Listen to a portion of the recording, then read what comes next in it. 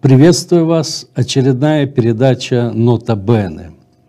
Мы сегодня с вами поговорим о Гагаузии, о расколе в политических элитах Гагаузии, о тех проблемах, которые существуют в этом регионе.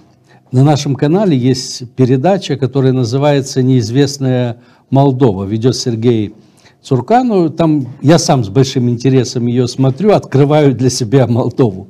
И вот я надеюсь, что для жителей всей Молдовы, да и не только Молдовы, нас смотрят и за границей, ну, я расскажу то, что, может быть, они не знают, что происходит в Гагаузии, какие там процессы происходят. Они достаточно интересные. Ну, а для самих гагаузов, наверное, будет жителей Гагаузии, потому что там живут не только гагаузы, наверное, будет интересный взгляд из Кишинева, как бы взгляд со стороны. Как э, сказал э, поэт, лицом к лицу лица не увидать, большое видится на расстоянии. Я не знаю, будут ли жители Гагауза согласны с моей точки зрения, Хотя я в основном буду говорить о конкретных фактах, и не так много будет моих оценок. Ну, может быть, в заключительной части я кое-что выскажу уже от себя. Надо вообще сказать, что я когда говорю, что мы очень мало знаем Молдову, на самом деле мы мало знаем, я извиняюсь, Гагаузию, на самом деле мы мало знаем и Молдову. Мы очень мало знаем о тех процессах, которые происходят в Аргееве, в Бельцах, в целом на севере Молдовы, на юге Молдовы, в Кагуле, в Тараклии, я уже не говорю о Приднестровье. Это большая проблема и очень серьезная для нас проблема. Мы вообще не имеем выверенной, ясной внутренней политики. Это уже критика в адрес э, власти. Поэтому вот сейчас, э, говоря о Гагаузии, я хочу подчеркнуть, что это очень сложный регион со своими проблемами. Ну, какие проблемы? В принципе, ничего нового, необычного нету. Это то, что по всей Молдове. Это экономические проблемы. Есть э, вопросы с развитием экономики в регионе, особенно с приходом инвесторов. Хотя в последнее время в Гагаузию начали приходить инвесторы. Это достаточно интересный процесс. Кроме традиционно э, то, что Турция там активно, начали с Европейского Союза, с других стран входить в этот регион. Есть много инфраструктурных проектов. Ну, это дороги, которые это общая проблема Молдовы, но она и Гагаузию затрагивает. Но Гагаузию особенно затрагивает проблема воды, водопровода, канализации. Это действительно очень сложная проблема для многих гагаузских сел. Есть еще проблема экологии, и мы мало о ней говорим, хотя в Гагаузе в последнее время начинают поднимать эти проблемы. Особенно это касается Камрата. Ну и, безусловно, то, что есть очень сложные вопросы, связанные с развитием образования – в целом как бы ну, отстает немножко образование в Гагаузии от общемолдавского уровня. наверное, это касается и здравоохранения. К этому добавим и проблемы гагаузского языка и культуры. Кстати, мы еще к гагаузскому языку вернемся. Там будет один очень такой важный или интересный инцидент, связан с гагаузским языком. Теперь поговорим о линиях раскола – на самом деле этих линий раскола очень много. И их бы надо очень внимательно анализировать. Я сегодня не буду это делать. Мы сегодня сосредоточимся на внутренних проблемах Гагаузии. Ну вот, допустим, линия раскола – это отношение к России. Традиционно Гагаузия считается таким пророссийским регионом. Но это такая очень поверхностная точка зрения – на самом деле, в, особенно в элитах, нет того уже такого, знаете, отношения только с Россией и так далее. Потому что элиты задумываются, хорошо, с Россией, а куда с Россией? Туда, куда сейчас ее ведет э, Путин, а что мы от этого получим? Мы выиграем или проиграем? Особенно бизнес это беспокоит.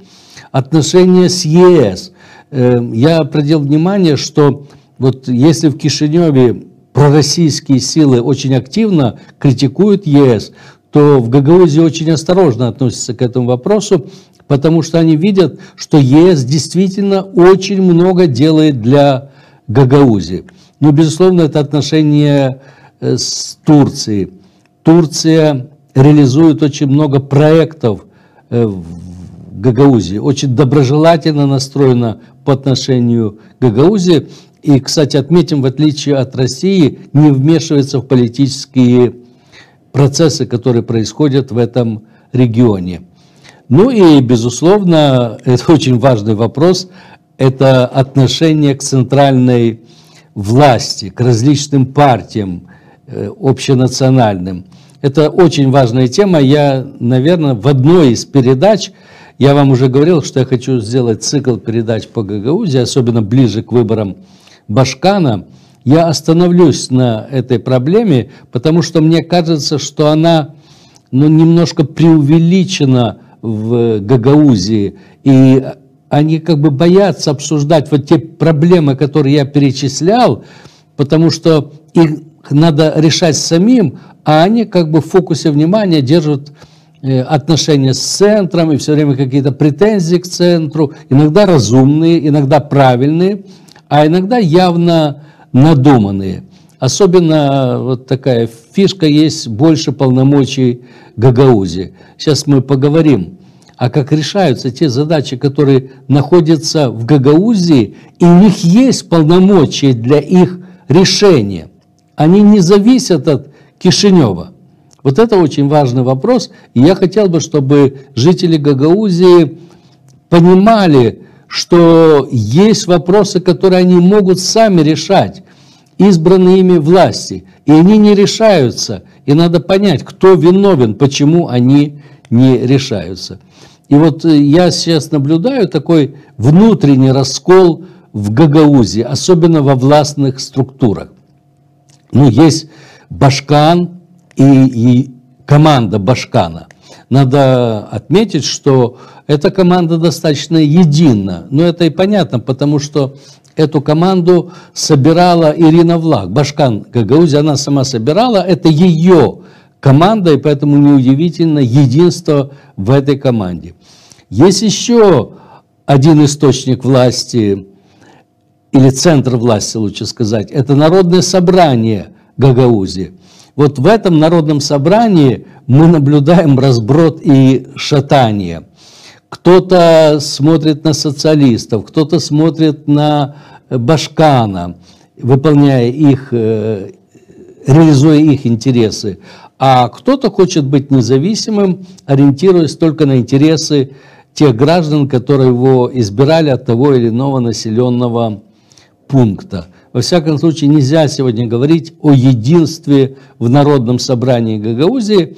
И очень многие вещи, которые происходят, как раз происходят потому, я имею в виду негативные, потому что вот этого единства нет. Они не нашли такой объединяющей идеи. Она на поверхности лежит, эта идея. Это развитие Гагаузии. Это решение социальных и экономических проблем.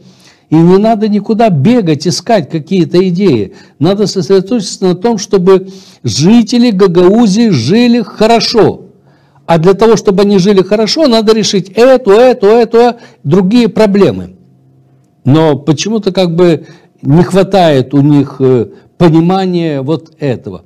И есть еще одна интересная команда, это примары Гагаузии. Они избраны, они пользуются авторитетом в своих селах. И вот в этой команде тоже нету единства. Ну, как бы причины, может быть, и понятны, потому что каждый примар тянет на интересы своего населенного пункта. И когда там, допустим, бюджет, какое-то финансирование каких-то проектов, тут они как бы друг другу не друзья. Но есть общие вопросы развития населенных пунктов. Есть, наверное, проекты, которые можно реализовать силами не одного, двух, а трех, четырех, пяти примаров. Вот этого, кстати, в Молдове нету. И поэтому я сторонник, чтобы были очень, ну, такие большие примарии, объединяющие 3, 4, 5, 6, 7 населенных пунктов. Потому что тогда действительно можно реализовать какие-то крупные проекты, в том числе инвестиционные проекты в этой примарии, инфраструктурные проекты. А вот этого пока у нас э, нету. Ну, теперь поговорим о болевых точках, которые способствуют расколу. Первая болевая точка – это бюджет Гагаузии. Ну, может быть, в остальной Молдове люди не понимают важность этого, но в Гагаузии эта тема одна из самых обсуждаемых в последнее время. Вообще, чтобы вы понимали, бюджет – это вторая конституция. Это по какому вот принят э, бюджет и как будет жить целый год, э, ну, в данном случае мы говорим Гагаузия, куда пойдут расходы, правильно ли эти расходы идут, выигрывает ли население от этих расходов, правильно ли они распределены. И тут сложилась такая ситуация, что Народное собрание приняло бюджет, и интересно в этом бюджете, он приобрел такой вот э, в, в том, как его приняло Народное собрание, в редакции Народного собрания, вот такое четкое социальное очертание. И было продумано, чтобы изъять часть денег из других статей, которые предлагал исполком.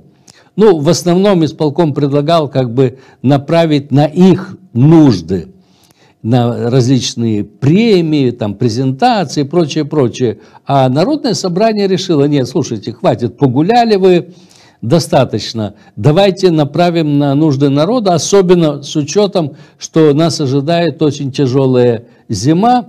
И они решили изыскать в бюджете возможности, чтобы выделять э, на каждый дом, э, там, если не ошибаюсь, тысячу леев ежемесячно но считая, что частично это покроет э, расходы вот на зимний период, но ну, в первую очередь, безусловно, на отопление. И все было бы нормально, но дело в том, что Башкан Гагаузия возмутилась. Как? Это вы в моем кармане роетесь? Ведь это же мой бюджет. Я, Башкан, распределяю куда, кому и за что.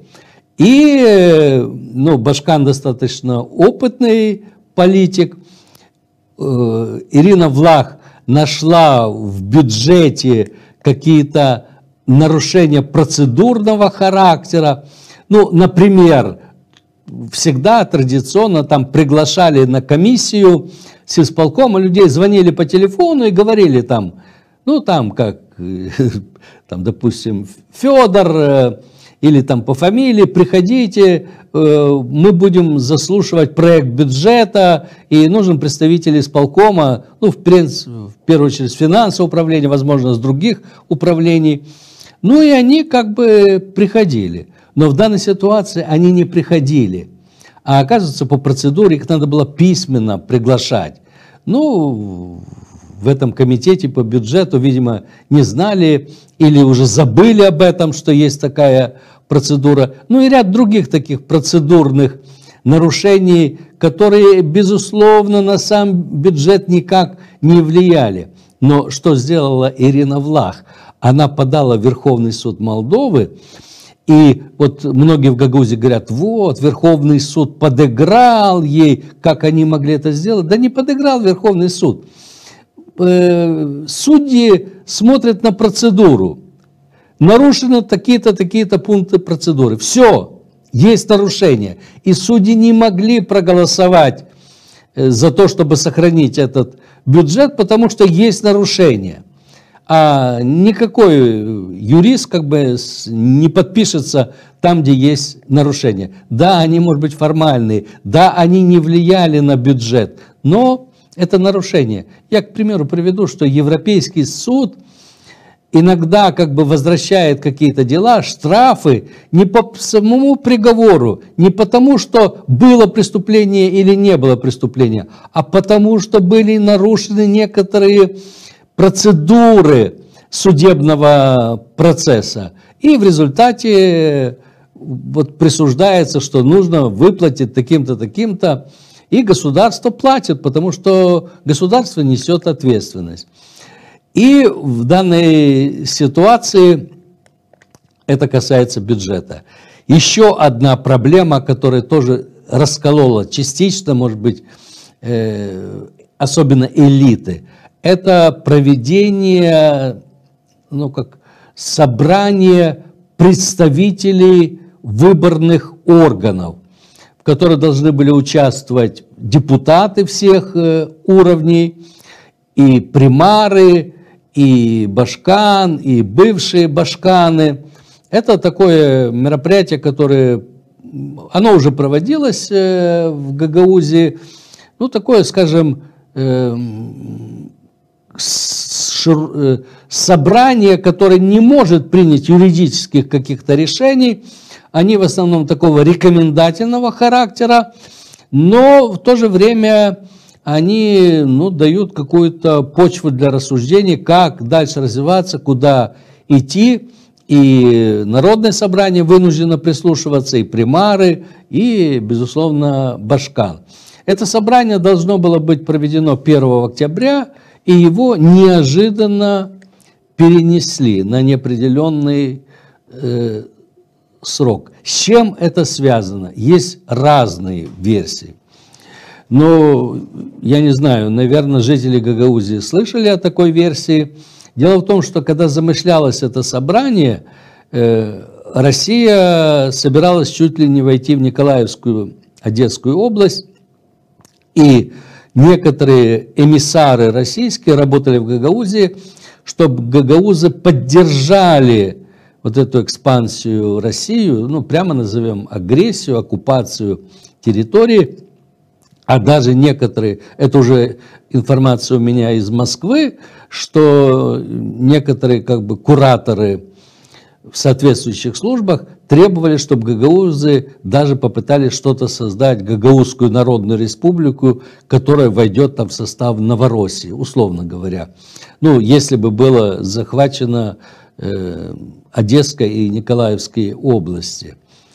Но прошло время, отбросили российскую армию, безусловно, эта тема отпала, и те, кто в Гагаузе, к сожалению, такие люди есть в Гагаузе, они сейчас как бы немножко скрывают, что они собирались так сделать, они замолчали. Но это одна из версий, я не знаю, она, может быть, не самая главная. А другая, более существенная версия, что все же были разногласия, особенно среди примаров, да и в народном собрании.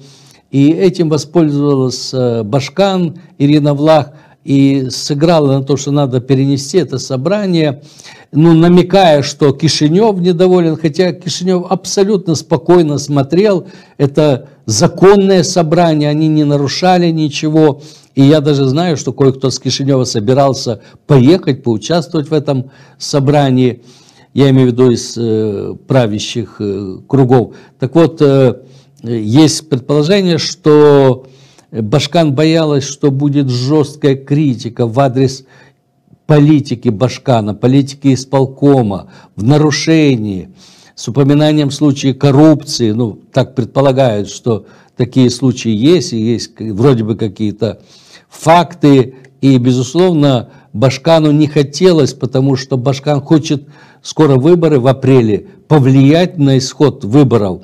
И не хочет, чтобы имидж Башкана упал вот в результате, потому что э, ну, то, что на собрании об этом обсуждалось, безусловно, знала бы вся э, Гагаузия. Поэтому это сыграло, что перенесли это собрание. Ну, не знаю, будет э, оно проведено или нет, но во всяком случае его пока нету. Еще есть проблемы, которые тоже раскалывают гагаузскую элиту. На самом деле неутвержден исполком. Пыталась Ирина Влах там внести какие-то кандидатуры, изменить, там назначить первого заместителя и так далее. И процесс не пошел, она почувствовала, что Народное собрание не устраивает эти кандидаты. И Народное собрание, депутаты прямо говорили, почему не устраивает, потому что ну, как бы непрофессионально, не морально некоторые не подходят на те должности, на которые хочет их назначить э, Башкан. Но вот должны были рассматривать кандидатов на Народном собрании, и Ирина Влак знала, что эти кандидаты не пройдут, и тут была такая интересная процедура в Гагаузии. Э, в уложении, ну в том основном законе Гагаузии сказано, что кандидаты на должность членов исполкома должны пройти тест на знание гагаузского языка. Я считаю это абсолютно правильным, чтобы ну, в автономии, в гагаузской автономии члены исполкома обязаны знать гагаузский язык. Ну, не знаю в каком объеме, но во всяком случае, наверное, в таком объеме, чтобы нормально понимать, э, когда с ними говорят на гагаузском языке. Не скажу, что там писать, потому что на самом деле, мне кажется, что все дело производства там идет на русском языке. Хотя в Гагаузии три официальных языка. Это гагаузский, э, молдавский, ну, как записано в Конституции, и русский. Но в основном доминирует русский язык. И вот для поднятия авторитета, значения гагаузского языка было введено в закон вот это тестирование. И все кандидаты в исполком, которые предлагали Ирина Влах, не пришли на это тестирование. Вы знаете, я даже не знаю, какую подобрать. Это или такой плевок в адрес гагаузского языка, потому что вы, может быть, политически не согласны, у вас могут быть противоречия, но э, вот выполнить вот эту процедуру, да, вы могли бы потом не прийти на народное собрание, но показать уважение к гагаузскому языку, мне кажется, что это было ну, необходимо. И вот эта демонстрация, она, безусловно, ну, как-то настораживает, э, потому что, ну, прошлись по-живому, по гагаузскому языку. Ну и я уже говорил, что в апреле следующего года будут выборы Башкана, и тут, безусловно, раскол в элитах. Я вам уже, у меня была передача на эту тему «Выборы Башкана», и вы можете поднять архив, нота Бена, посмотреть. И я повторяю, я вернусь еще к этой теме, когда уже будут реальные кандидаты. Я просто рассматривал длинный список потенциальных кандидатов.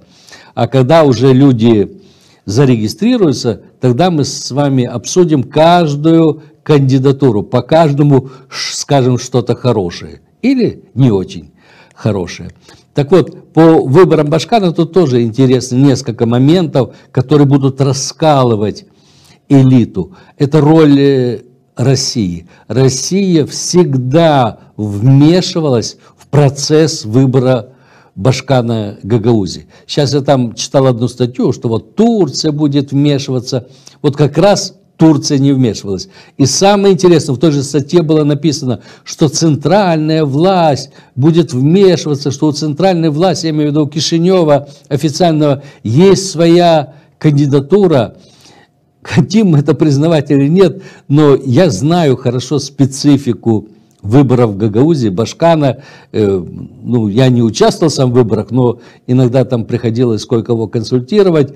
И я знаю, что Кишинев никакой роли не играет в этих выборах. Ну, особой роли не играет. Особенно сейчас. Я понимаю, когда еще были у власти коммунисты, они пытались играть какую-то роль. Но даже при их власти им не удалось остановить э, Формузала. И я помню такую интересную историю, я вам ее расскажу, что э, это было в 90-х годах, когда президентом был Петр Лучинский. Я рассказывал многим эту историю, может быть, вы не знаете ее, напомню. И я поехал в Москву, и он попросил меня встретиться с Олег Первым. И там была такая тема, что Олег Перов хотел поддержать одного кандидата в Гагаузии на выборах. Я сейчас не буду называть э, фамилии, Он работал с этим кандидатом, он его знал, он из таких старых коммунистов. Ну, Олег Перов тоже там где-то в комсомоле был, что-то такое. И, а Лучинский хотел, чтобы там молодой был избран, э, который, ну, более прогрессивный, но когда я с Олег Первым разговаривал на эту тему, это президент Лукойла, он меня спросил, а Петр Кириллович кого хочет? Я его сказал, он меня страшно удивился. Я сказал, Петр Кириллович передал мне, чтобы я вам передал, что он хочет, чтобы был Башканом тот, кто честно победит. Он не будет вмешиваться в выборы, но просит и вас не вмешиваться в выборы. Ну, Первый сказал, ну, если так хочет Лучинский, я не буду вмешиваться в выборы. И тогда победил молодой кандидат. И это было достаточно как бы интересно. И э, вот я уже говорил, что центральная власть, особенно сейчас, она в эти процессы не будет вмешиваться, хотя я понимаю, что некоторые кандидаты будут убеждать, что вот за этим стоит там центральная власть, и там или Санду, или кто-то, или чтобы вообще напугать, что за этим стоит Оазу Нантой. Э, я повторяю, центральная власть в принципе, ну, за исключением времен э, Воронина, когда он был у власти, вмешивался во все, в данной ситуации не собирается вмешиваться. Это, кстати, очень плохо. Потому что на самом деле, э, я не думаю, что там административно надо вмешиваться, но нельзя быть безразличным, просто безразличным. Потому что когда Лучинский, ему было все равно, потому что он считал, что и один сильный, и второй сильный. А вот если будут так, что один радикальный, а второй нормальный, то я думаю, что власть все же должна что-то, ну, поискать возможности какие-то партии и так далее, или даже высказать открыто свою позицию, чтобы победил нормальный, а не радикальный кандидат. Ну, это дело уже молдавской власти. И заключительно, что я хочу сказать о перспективах Гагаузии. Вы знаете, э, может быть, это кого-то удивит, особенно в Молдове, но я вообще считаю, что у Гагаузии есть перспективы. Мне очень нравится этот регион. Мне нравятся гагаузы. Еще с тех времен, когда э, некоторые ребята с Гагаузии учились со мной вместе на Истфаке. Я увидел, что это люди очень порядочные, честные. Они всегда были за справедливость. И э, они отставали, потому что ну, сельское образование, но очень быстро наверстали. Я увидел у них такое ну, бешеное стремление к самообразованию. И мне кажется, что вот эти качества, плюс воля, хара, это говорит о воле, о характере, они у многих гагаузов и жителей Гагаузии. И это дает большие шансы на развитие этого региона. Кроме того, вот эта автономия, это такой большой экономический регион, то, чего не хватает многим районам Молдовы. И вот эта концентрация ресурсов трех районов, это тоже достаточно перспективно для развития Гагаузии. Плюс громадную помощь э, оказывает Турция и в последнее время и Азербайджан. Большой интерес проявляет э, Гагаузии Европейский Союз и готов реализовывать там очень многие проекты. Ну, те, кто считает, что Россия может помочь, хотя у меня есть на этот счет большие сомнения, но используйте потенциал России, если вы так считаете, что Россия может вам помочь. Ну и, безусловно, Кишинев заинтересован в развитии региона потому что это тоже как бы пример концентрации ресурсов нескольких районов. Это очень хорошо для проведения административно-территориальной реформы, чтобы показать модель развития. И в данной ситуации, кстати, Центр очень помог. Э, Филат помогал э, э, Формузалу, когда тот был башканом. Плохотнюк, как это неудивительно, для многих помогал Ирине Влах там э, по налоговым один налог оставили, в центр не забрали, и в результате бюджет резко в Гагаузии вырос, это очень большая помощь была. Да и нынешняя власть готова работать с Гагаузией, помогать. Только надо, это, кстати, критика и в адрес нынешней власти, надо понять, в чем помогать, какие реальные проблемы и чем может центральная власть помочь. А то, что касается Гагаузии, не сваливать все проблемы на центральную власть, но и пытаться самим их решать. Ну вот как Народное собрание попыталось решить вот эту проблему по тысячу лей на каждое домовладение, чтобы решить проблему оплаты тепла. Есть очень много вопросов, которые гагаузы, жители Гагаузии могут сами решать. И, безусловно, Гагаузии нужен сильный башкан. Вы знаете, э, ну, я не очень, может быть, хорошо отношусь э, к нынешнему Башкану, но когда ее замом был Вадим Чебан, это был такой тандем, был политик, который там занимался политикой, но и был человек, который занимался хозяйственной деятельностью. И это было нормально. Сильный тандем был Формузал Ениогла. Э, Формузал больше тяготел к политике, но он занимался и социальными вопросами, и экономическими вопросами.